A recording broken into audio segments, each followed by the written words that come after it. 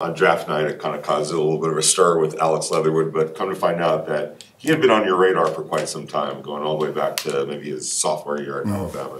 What initially drew you to him, and, and did you guys monitor that throughout the uh, course of his career over there? Sure, we did. You know, I think uh, when when those guys kind of present themselves when they're young, you do kind of keep an eye on them. Um, you dig in a little deeper just to make sure you're right.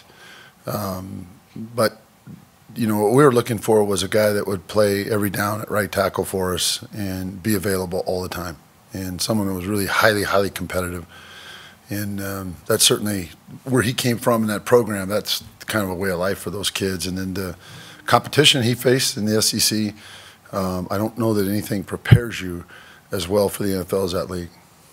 Andre James has kind of been in your uh, laboratory the last couple of years. Um, when it came to having to move on from Rodney Hudson, is that a discussion that you have with Coach Gruden in terms of we're going to be all right? We've got a guy that I, that I that's been putting in the work. I've been watching him, and we feel good about this transition. Yeah, you know, you can't, you don't move on from a guy like Rodney unless you know that you've got something in place already. You know, if you've got to go get it, whether that be free agency or the draft, uh, I think you're leaving yourself uh, open for failure. You know, and uh, he didn't get to play it all last year because Rodney stayed healthy, but the year prior, uh, making the transition from never being a center to two games, Detroit and Houston, and then last year his growth just continued, and, and he's really taken off. I'm really excited about what I think he can do, and but like like Alex for Andre, it'll be about getting enough NFL snaps in him.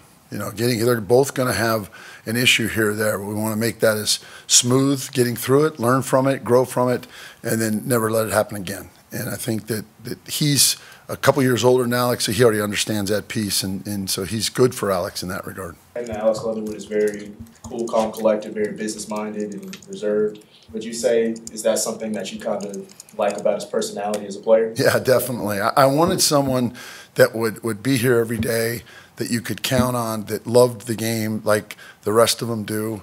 Um, he is he's very introverted. Um, sometimes he can be even a little bit nerdy, which is cool for an old lineman. And I don't have to worry about him out raising hell or doing this or doing that. And, and he's pretty focused guy. Um, that was all part of that earlier question, you know, that that went into selecting him.